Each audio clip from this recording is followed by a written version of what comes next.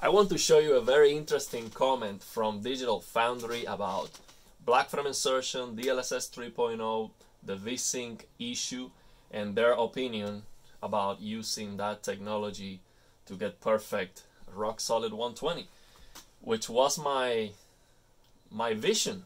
The first time I saw the reveal of DLSS 3.0 motion interpolation, I was like, man, that's just exactly what I need. I know it's going to be supported on the 30 series eventually. It's just a matter of time. So my 3080 can give me 60 frames on every single game and my CPU too.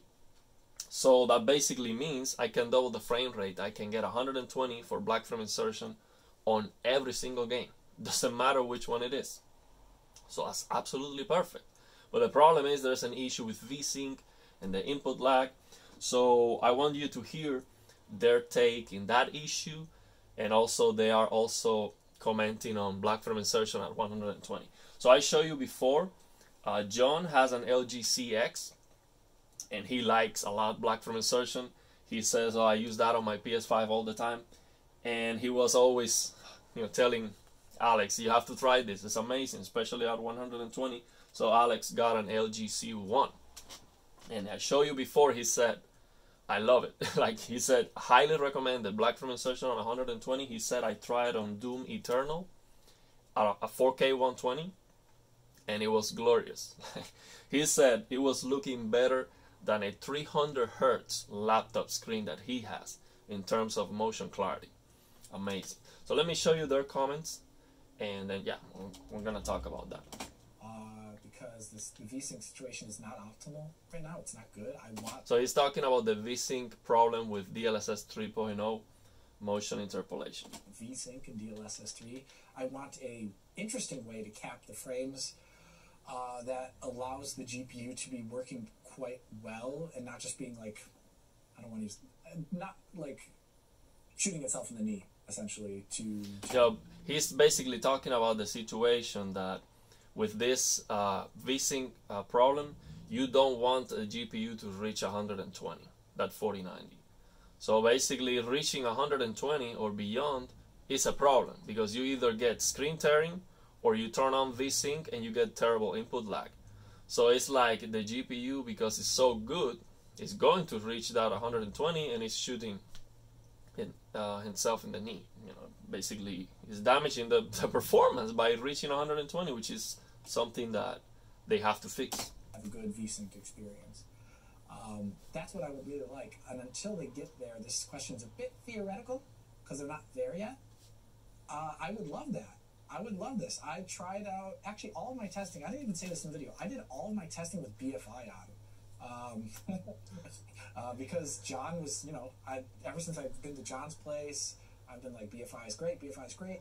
Um, so I did all of my 120 FPS VSync testing with BFI on. So you see what he's saying?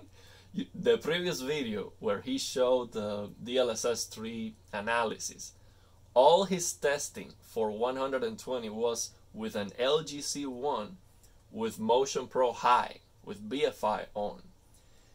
And that's a huge detail. And, and you know, let me let me let me keep showing to you. see if like what artifacts I was seeing. So that's how I did it, um, and that's how I used it. The only thing is, it was not, in you know, on a game per game basis, it was not necessarily optimal from an input latency perspective due to that issue I highlighted out with VSync increasing input latency much more than VSync off when you hit the VSync limit. Um, like in a game like Spider-Man, I honestly didn't really notice and care much of anything. It actually felt really good. Uh, Cyberpunk was the same way. The Lyra or Lyra demo, oddly enough, with VSync, felt so much heavier than the other games on the mouse. Um, that was a very interesting thing to talk about that I didn't talk about. um, because it was just like, it felt weird to like interject like a really subjective opinion after doing this super scientific thing. Um, but yeah, so like. Yeah, so he's basically saying I tried all the testing on on the C1 with black frame insertion on 120 because John is always telling me was always telling me this is just amazing, and what he's gonna talk about is that all the small defects that he was able to detect, so the artifacts, he's saying maybe I was able to see that because black frame insertion gives you such a perfect motion clarity that everything is revealed. I would love to see this happen on uh, laptops. It's going to be a really cool situation. Uh, very curious to see what type of laptops are even made with this because I've got like a th- what's that Razer laptop I have? It's like It's got 300 300 hertz. No, it's a So laptop. You need, It was you need to run at uh, what you know, 75 or 150. Yeah, yeah, something like that. And yeah, that's like somewhat compelling. It'd be, you know, maybe this is where this technology is, is even better than on desktop. Maybe it is laptops. I don't know. Does, does the idea of BFI appeal to you, John? If you can use DLSS 3 just to lock to 120? I mean, oh, sure. that's that's that's my vision. I'm so man. I like I like them because they they know what they're talking about, and they focus on the gaming experience. Okay, so that's that's my question. That's exactly my question. This is perfect for Black frame Insertion on 120. Having support on my on my 3080 for DLSS 3 motion interpolation with good input lag with VSync is going to mean perfect gaming experience. No matter what no matter what the game i will always get 120 with tremendous resolution tremendous fidelity and perfect motion clarity. That's the question The only thing I would be concerned is, is does it reveal the the generated frame issues more That's easily? the question. That is the question. i have the answer no so i've tested motion interpolation on this lgc1 i know the artifacts okay and i tested the motion interpolation with and without black frame insertion so with no black frame insertion it looks blurry okay but you can still see the same defects okay so 120 using for example 60 frames per second 60 hertz on the games and then you use the blur 10 no motion pro on this lgc one. I can see the artifacts. Uh, basically the artifacts that you see are i think they are called of course soap opera effect but they are called occlusion artifacts. Basically when you have two vertical objects two parallel objects. It doesn't matter if they are vertical or horizontal. If you have uh, a background so so what is behind those two objects you see the artifacts. And it doesn't matter. If i turn black frame insertion on and off it doesn't matter. So on this lgc one you can do both. You can do motion interpolation and black frame insertion at the same time. The problem is you cannot do that on game optimizer mode. So the input lag is not perfect. I guess the input lag is going to be like 80 milliseconds maybe plus what the game uh, is you know plus the input lag of the game so yeah like 100 milliseconds at the end almost Oh, Alex, what did, what did you see? I, I mean, I was doing it all at 120. I did not do any. I found it useless to do any testing where there was just full screen tearing. I was like, this is not a play scenario. No one's playing this. Yeah, but you know, the concept of black frame insertion is similar to DLSS 3 in that you're strobing. Yeah, right? And the question is, are you when you have your bright frames with BFI, are you actually highlighting the generated frames? No. So this is very interesting, very interesting because black frame insertion. So the idea of DLSS 3 motion interpolation is the same idea as black frame insertion, which is basically incre- increase the motion clarity. That's it, because you're not increasing the responsiveness. So of course they are completely different things. So DLSS 3.0 is creating an entire frame, and black frame insertion is not inserting a whole black frame. That's not what is happening.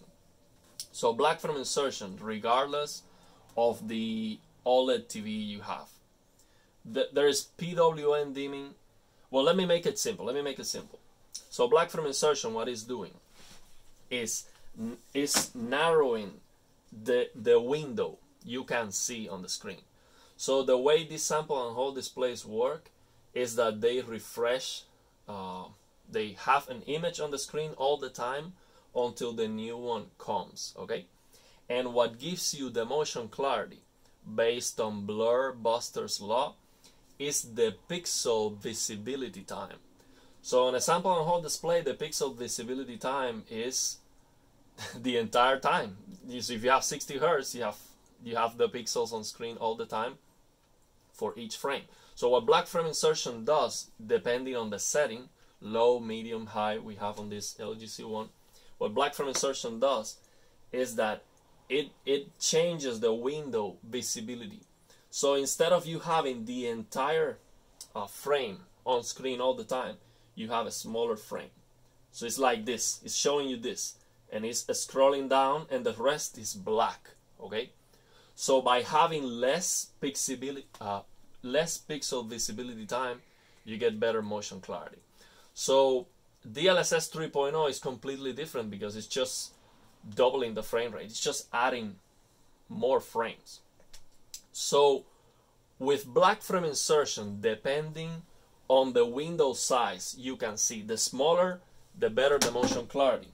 Depending on that window size, you're going to get better motion clarity. Okay, it is independent from the refresh rate. So you can have. So what matters is the pixel visibility time. You can have a bigger window size at a given refresh rate, and that is going to look blurrier than a smaller window size. Okay, so I believe this LGC one is 50% window size. When you have black frame insertion, you see half of the screen and it refreshes, it comes down, the rest is black, black, and then it keeps refreshing in that way. So it is completely different, but they are trying to achieve the same thing. Yeah, so that's basically. Yeah. No, it's still. Uh, I did it. That's why I did all my testing with BFI, and maybe it actually exaggerated things more than most higher persistence displays would have. Like, maybe I really should have put that in the video. So I don't think it is exaggerating, but it's definitely revealing everything. Because I was testing, for example, uh, Sifu, and turn off motion blur, turn off anti-aliasing, and I was able to see with black frame insertion at 120 a small animations from the bushes. I was able to see them uh, blurry. so like TAA blurry, like using temporal data, like you see that blurry. And I'm sure if I'm not using 120 black frame insertion, I cannot see that. So he's, of course, he's right. Um, like for example, like I think some of the stuff I saw with BFI on, like the very specifically, I said like I noticed a slight darkening when uh, muzzle flashes were occurring. Like it was a darker yeah. look than the real one. I honestly don't think on like a persistence display, uh, like like one without BFI, I honestly don't think you notice that because the the frames in your eye are just going to be blending over when there's a muzzle flash anyway. It's just like the brightness level there, especially with like HDR brightness. Um, I don't think you'd maybe see that. So this is a really cool. John, I would say actually when, whenever you get an RTX 4000 card, I would love that we can maybe I'll talk about it. this in a video. It'd be so fun. That would be great. I really want. I would like him to talk about black frame insertion because he he he has the CX for a long time and he. I'm sure he knows a lot about that. Maybe they don't know the trick, the HDR trick I'm using. I'm I'm sure if they try my trick, they will love it. And they what they probably do for black frame insertion for the brightness based on their comments is they just use HDR and probably dynamic tone mapping. That's probably what they do. Uh, because you're, you have well, maybe they know better than me. Maybe they, maybe they do, but I think they are too busy doing other things.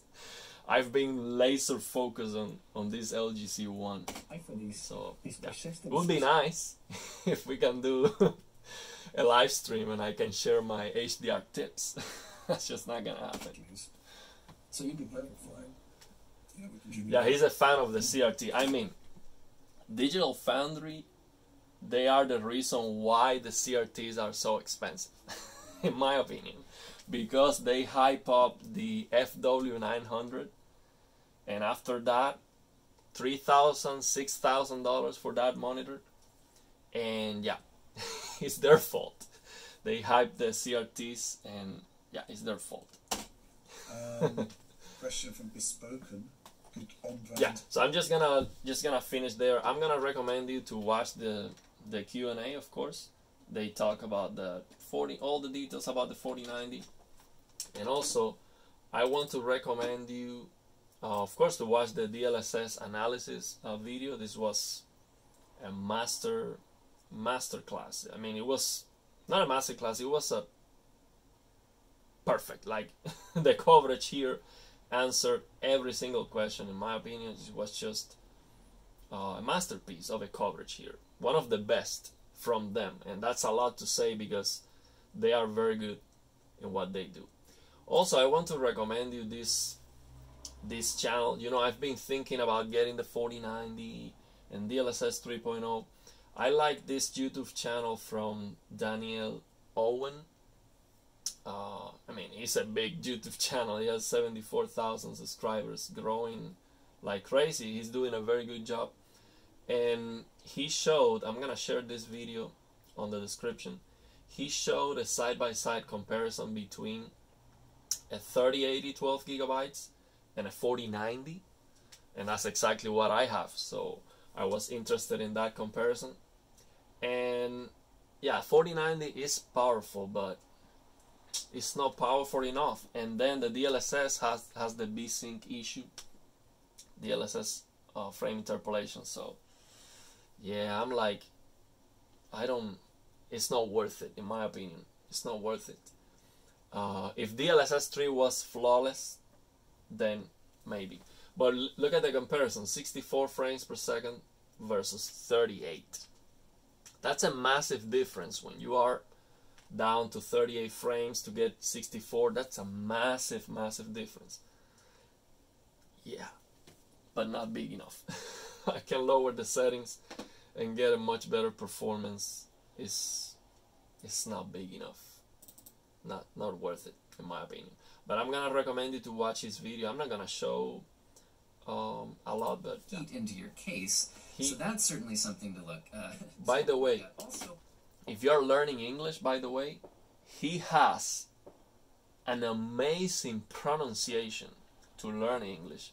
I'm still trying to improve my language and i love to listen to him because his voice and his pronunciation is just perfect. He's like an like an english teacher. It's amazing. Um, so yeah i'm gonna recommend you to watch his channel and this video if you are interested is the 3080 12 gigabytes and the 4090 head to head. And he shows a lot of uh, comparisons with different games spider-man a plague tale. And yeah let me know if you have any questions